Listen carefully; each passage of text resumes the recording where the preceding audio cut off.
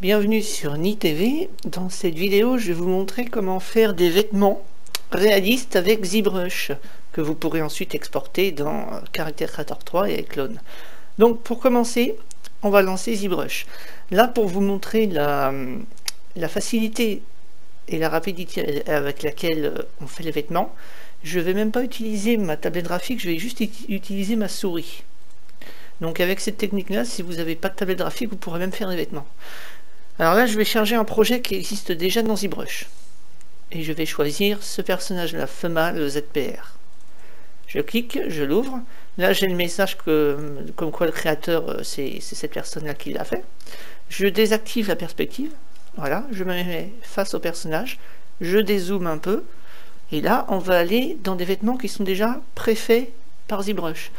On va dans Lightbox on va aller dans Spotlight et on va choisir euh, l'un des deux qui est là. Donc moi je prendre celui-ci, 256. Et là regardez, j'ai plein de modèles de vêtements déjà tout faits qui apparaissent. Comment je fais pour utiliser ça? J'appuie sur la touche Z pour activer Spotlight. Je choisis une forme de vêtement qui me plaît.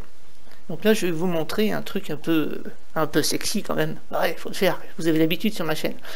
Je vais prendre ça. Je le prends et je le mets ici. Là, j'ai sélectionné cette espèce de maillot de bain. J'utilise l'icône qui est ici, hein, qui s'appelle échelle, et je j'augmente tout simplement sa taille. Je replace à peu près au centre du personnage. L'icône a bougé, elle est, enfin non, elle est toujours ici. Hop, voilà, je la bouge. Je donne à peu près la taille qu'il faut, donc il faut que ça aille au niveau de l'entrejambe, comme ça. Faut que ça cache les seins. Euh, je, je, clique dans le vide pour voir un peu ce que ça donne, un petit peu plus comme ça. Voilà, ça c'est pas mal. Je vais peut-être l'agrandir un petit peu. Voilà. Une fois que la forme me convient, ce que je vais faire, c'est tout simple. J'appuie sur le petit appareil photo qui s'appelle ici, qui s'appelle Snapshot 3D. Je clique une fois. Et voilà, c'est fait. Maintenant, je vais appuyer sur la touche Shift, enfin Maj et Z en même temps, pour faire disparaître euh, Spotlight. Et regardez, Spotlight m'a créé ceci. Oui, ça ressemble pas à un vêtement, je sais. Mais si j'appuie ici sur Poly F pour voir les frames, on se rend compte qu'il est composé de plusieurs polygroupes. Comment ça fonctionne?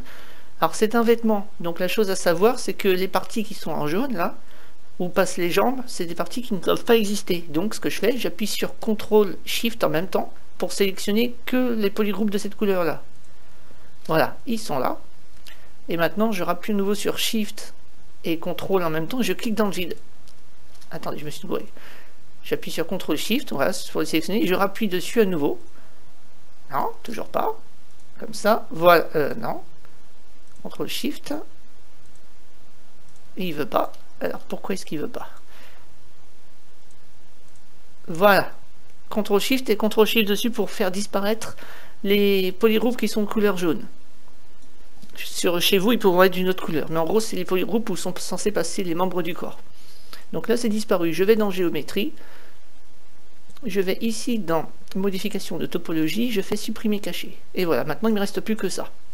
Et ça, on va transformer en vêtement. Alors, pour transformer en vêtement, vous avez l'option dynamique qui est là-haut, juste là à côté d'édition.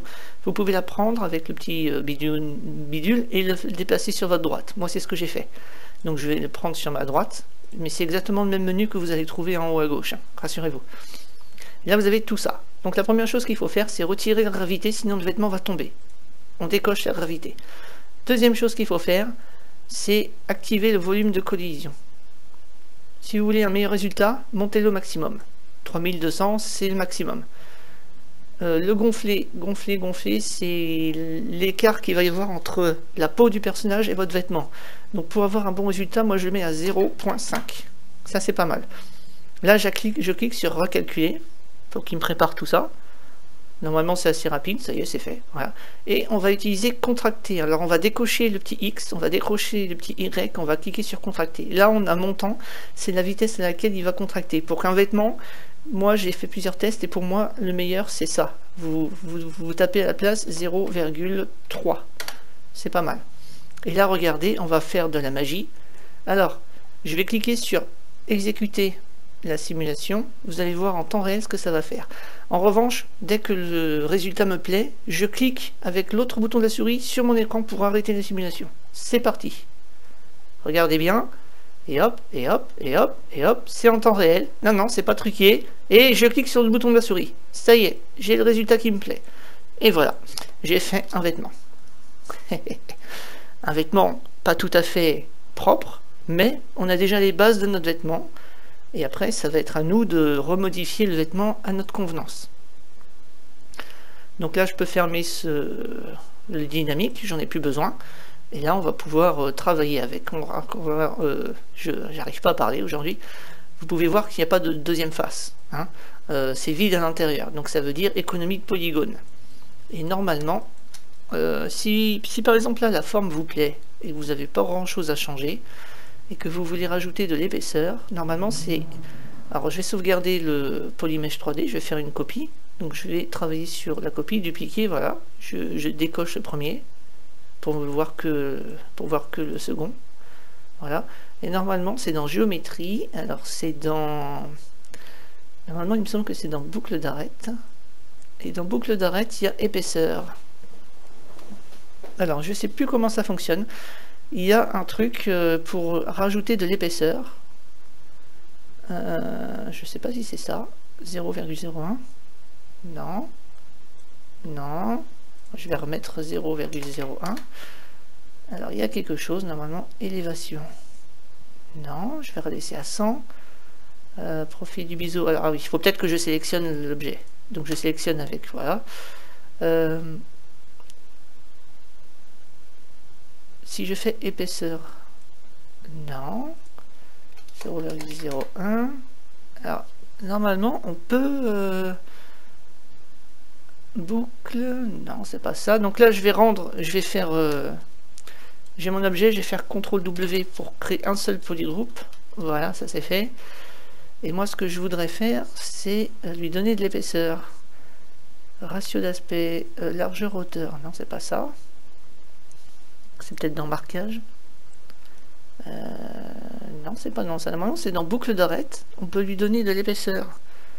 Euh, boucle d'arête, euh, boucle, polir, triangle, boucle, double, panneau à double côté. Ah voilà, c'est ça.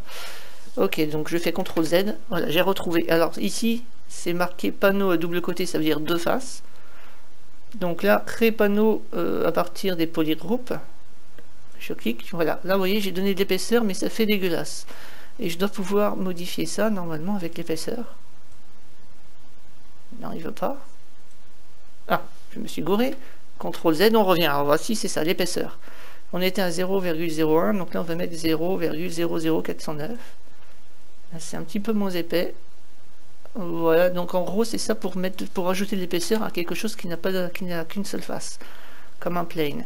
Après c'est à vous de trouver le bon euh, le bon chiffre. Je vais mettre une épaisseur très basse, on va dire 89 euh, à la fin. Ouais, j'ai une petite épaisseur de pas grand chose, c'est pas mal.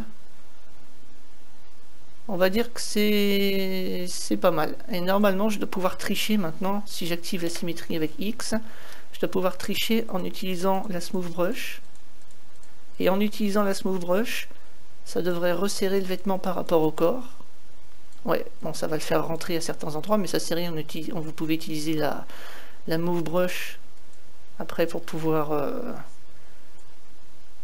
modifier tout ça. Donc là, on a rajouté un peu d'épaisseur.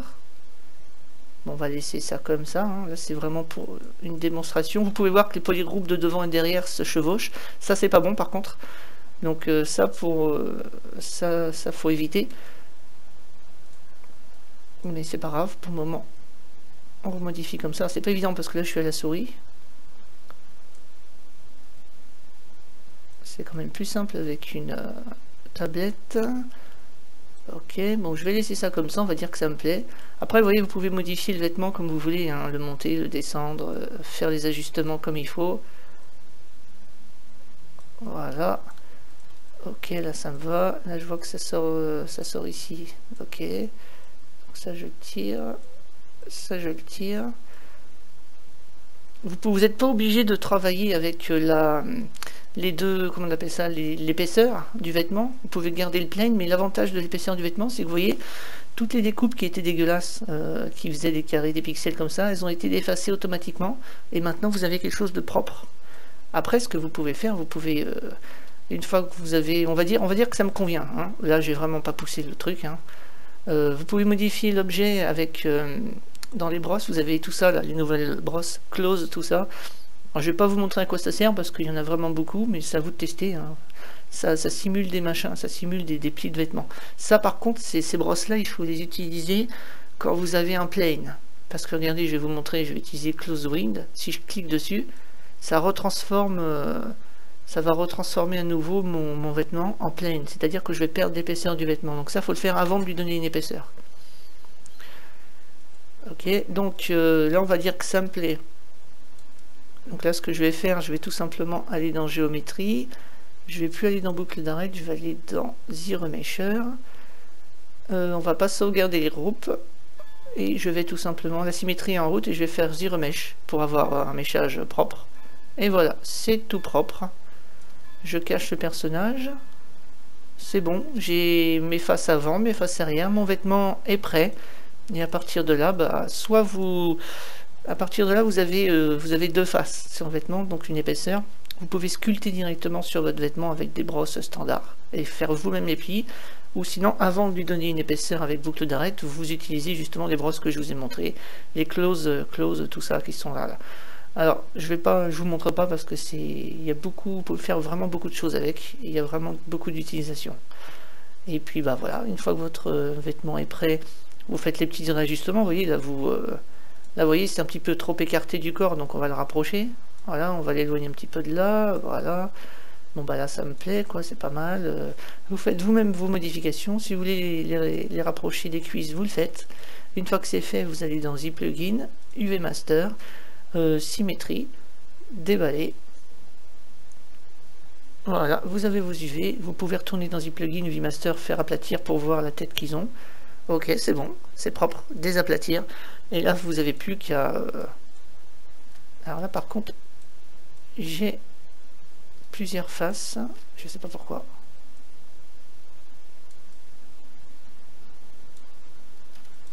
On dirait que ça chevauche.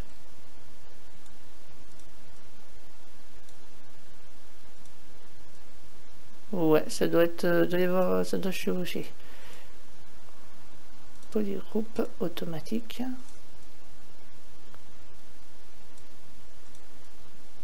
Non, bon, ça a l'air euh, d'être pas mal. On va faire un petit test rapide. Euh, FVX export, sélectionner. Euh, exporter. On va aller dans création, nouveau. test vêtements. Je vais juste vérifier si les UV sont faits correctement. Ah oui, dans comment ça s'appelle ce que j'ai utilisé dans Spotlight euh, les, robes qui sont déjà faites vous pouvez faire vous-même vos propres vos propres robes vous voyez si j'appuie sur Shift Z vous voyez ça là en fait vous avez besoin de faire qu'une seule face donc en gros comment ça fonctionne euh, vous prenez une photo de votre avatar euh, en position comme celle-ci ou en typose vous la prenez bien de face correctement la photo. Une fois que c'est fait, vous allez dans un logiciel de 2D. Là, vous dessinez sur le personnage la face avant du vêtement, comme ça.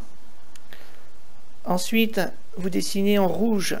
Euh, c'est le rouge pur. Alors, je sais plus c'est quoi la couleur, c'est 250 euh, sur 250 ou je sais plus comment. Enfin, le rouge le plus rouge possible. Vous faites les, vous dessinez les endroits du vêtement où il est censé avoir des trous, tout simplement. Et après, vous pouvez importer ça en tant que vous pouvez importer ceci directement en tant que texture et l'utiliser avec Spotlight pour euh, faire vos vêtements personnalisés. Donc là, Fill New, sélectionner, test vêtements. Juste voir s'il n'y a pas de bug de texture. Normalement, je pense pas. Euh, matériel fabrique. Voilà, et on va prendre un truc de base. Un truc avec des fabriques suite, celui-ci. Non, c'est bon. Tout a l'air d'être bien. Si je fais triplanar, Tout est bon, bah voilà, vous avez votre objet qui est prêt à être euh, utilisé. Donc là, je vais pas le texturiser, c'était juste pour voir si les UV avaient été corrects. Donc les UV sont bons sur celui-ci. Et voilà, c'était une vidéo euh, rapide euh, sur la fonctionnalité des vêtements de ZBrush. A plus